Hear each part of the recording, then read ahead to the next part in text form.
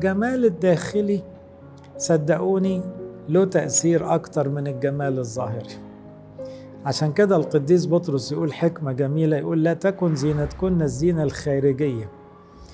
من لبس الثياب وضفر الشعر والتحلي بالذهب بل زينة الروح الوديع الهادئ زينة القلب الخفي الذي هو قدام الله كثير السمع البنت اللي تبقى مؤدبة تحب ربنا وطيبة قوي وخاضعة ومهذبة وقنوعة ووديعة تلاقي جمالها الداخلي ينعكس على شكلها.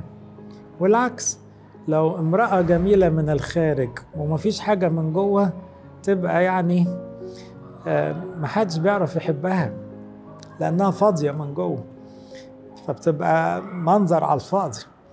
وده حتى في اختيارات الشباب. بعد شوية بيكتشفوا مين الزوجة الصالحة اللي جمالها داخلي لأن كل مجد ابنة الملك من داخل.